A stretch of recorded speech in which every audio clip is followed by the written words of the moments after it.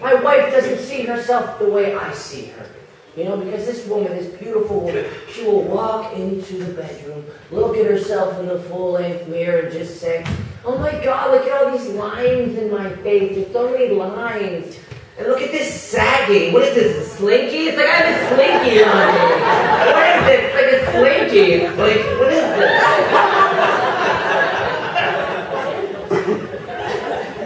But I don't see these things until she points them out.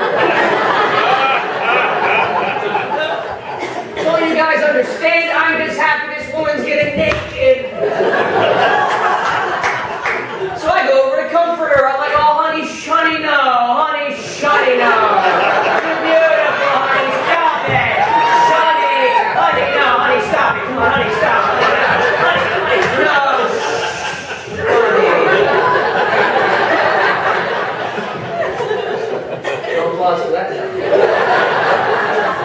But she does this, bugs me, right? And that's the thing, right? Venusians bug us, and we disappoint Venusians.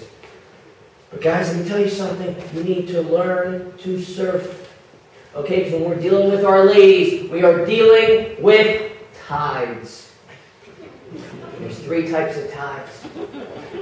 There's low tide, there's high tide, and there's tsunami! And it's our job as men to be able to recognize where those waters are hanging. So, when Sarah and I are in low tide, I know it. Waters are calm. I can see out in the distance. Sarah will stand there holding my hand and she'll say to me, You know what, honey? I was thinking about our lives today and everything we have and how big your muscles are. verbatim. It's verbatim. and I was just thinking about how lucky we are to have everything that we have. The tides rise someday. Waters change. And it's nothing personal, it's just nature. And before I know it, that low tide turns into a high tide. And I know we're in high tide because that's when Sarah starts to hit me with all the superlatives. You know? That's when she's like, You always do this! And you never do that! And everything is shit! And nothing is ever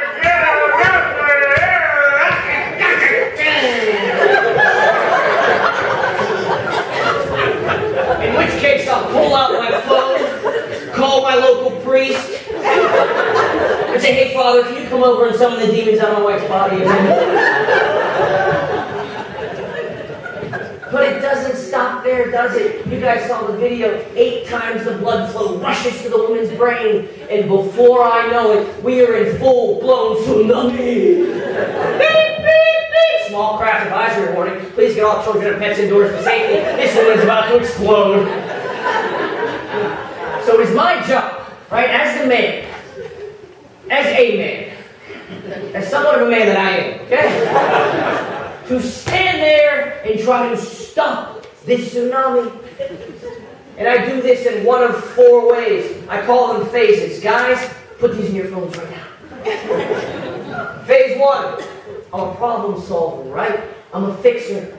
So when Sarah comes home in full-blown tsunami mode, and she launches into this story honey, I can't take work anymore. They even put me on the schedule this week. Email system's all screwed up. Don't appreciate that. She gotta get out of there. Out, get out. Say, okay, honey, let's fix this problem. Open up the laptop, go to monster.com, Craigslist.com, and let's find you another job.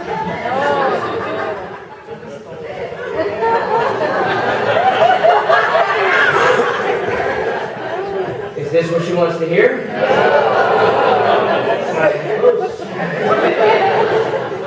so I move to phase two. I try to calm her. I say, honey, looks like you've had a hard day. Let me draw you a nice bath. Throw a nice lush bath bomb in there. Crack open a bottle of Merlot. Have a little bit of wine time. And that doesn't work either. And guys, let me tell you something. When wine doesn't work, that's when you know you're in deep shit, okay?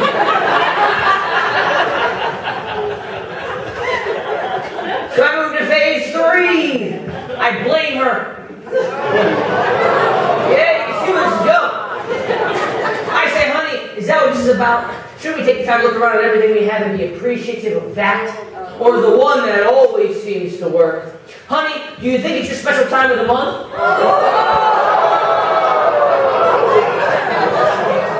Don't say that. Where thousands of men have been decapitated for that very statement. Let's dodge bullets like you're in the Matrix for like an hour. Alright?